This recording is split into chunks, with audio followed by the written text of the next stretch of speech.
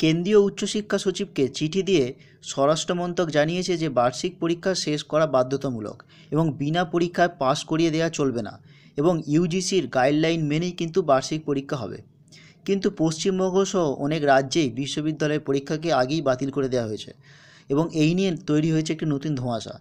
শিক্ষাবর্ষের শেষ সেমিস্টারের পরীক্ষা বাতিল করা যাবে না। সোমবারের অধিবেশনে উচ্চশিক্ষা নিয়ন্ত্রক বিশ্ববিদ্যালয় মঞ্জুরি কমিশন অর্থাৎ ইউজিসি এমনই একটি সিদ্ধান্ত নেয়। এবং সেখানে একটি গাইডলাইন প্রকাশ করে। এর আগে ইউজিসির তরফ থেকে জানানো হয়েছিল যে ফাইনাল সেমিস্টারে এক্সাম হচ্ছে না এবং একটি গাইডলাইন প্রকাশ করা হয় এবং সেখানে বলা হয় যে, কীভাবে মার্কস ডিস্ট্রিবিউশন হবে।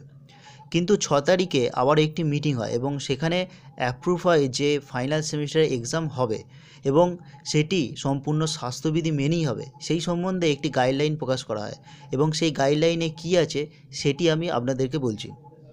গাইডলাইনের প্রথমেই ইউজিসি বলছে যে, এই প্যান্ডেমিক সিচুয়েশানে ছাত্রছাত্রীদের স্বাস্থ্যবিধি নিয়ে তারা যতটা সচেতন, সেই একইভাবে তারা সচেতন তাদের ফিউচার নিয়ে। কারণ তাদের ফিউচার এবং কেরিয়ার যাতে নষ্ট না হয়, সেই কারণেই এই এক্সামিনেশন নেওয়ার সিদ্ধান্ত নিয়েছে ইউজিসি।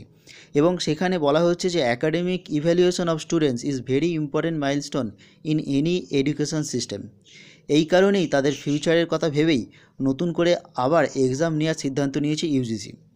এবং সেকেন্ড দেখুন, এখানে গাইডলাইনে বলা হয়েছে যে ফাইনাল সেমিস্টার এক্সামিনেশন যেগুলো ইউনিভার্সিটি কন্ডাক্ট করবে, সেখানে বলা হচ্ছে যে সমস্ত পরীক্ষা যেন সেপ্টেম্বরের মধ্যে নিয়ে নেওয়া হয়, অর্থাৎ সেপ্টেম্বরের শেষের মধ্যে যেন পরীক্ষাগুলো নেওয়া হয়। এবং সেটি হবে অফলাইনে হতে পারে বা অনলাইন হতে পারে, বা দুটো একসাথে মিক্সড করেও হতে পারে, অর্থাৎ পেন বা পেপারের মাধ্যমে অথবা অনলাইন অথবা দুটোর মাধ্যমেই করতে পারে। এছাড়া যেসব টার্মিনাল সেমিস্টার বলা হয়েছে বা ফাইনাল সেমিস্টার আছে, তাদের যদি কোনো ধরনের সাপ্লি থাকে তাদেরকেও কিন্তু পরীক্ষা নেওয়া হবে এবং সেটা এই বছরের মধ্যেই হবে। এবং সেটিও অফলাইন বা অনলাইন বা দুটো ব্লেন্ডেড কন্ডিশনেও কিন্তু নেওয়া যেতে পারে। এরপর পরের পয়েন্টে বলা হয়েছে, কোনো পরীক্ষার্থী যদি এক্সামিনেশন দিতে না যেতে পারে, তাহলে তার জন্য যেন ইউনিভার্সিটি স্পেশাল এক্সামিনেশনের ব্যবস্থা করে। অবশ্য সেই এক্সামিনেশনটি অ্যাকাডেমিক সেশন দু হাজার উনিশ থেকে কুড়ির মধ্যে হতে হবে। পরের পয়েন্টে দেওয়া আছে যে ইন্টারমিডিয়েট সেমিস্টার বা ইয়ার তাদের ক্ষেত্রে কোনো এক্সামিনেশন হচ্ছে না। অর্থাৎ আগে যে নোটিশ দেওয়া হয়েছিল উনতিরিশ চার দু সেই অনুযায়ী কিন্তু তাদের মূল্যায়ন করা হচ্ছে।